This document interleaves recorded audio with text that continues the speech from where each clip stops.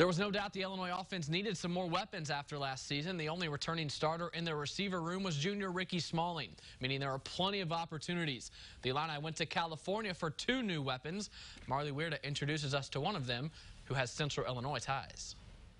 This California native is miles away from his home on the West Coast. But for Trevon Sidney, coming to Champaign was just meant to be.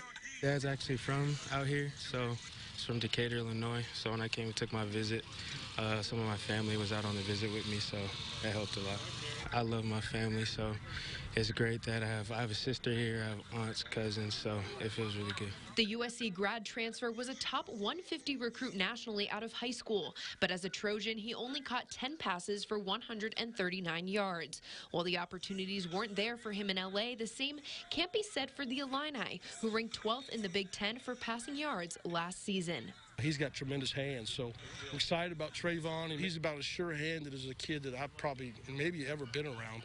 He's phenomenal when it comes to catching the football. I hope I'm not putting too much pressure on him. We're deeper than we've ever been, so and that helps with competition. I feel like it's a little more competitive. It's getting more gritty, so that's good.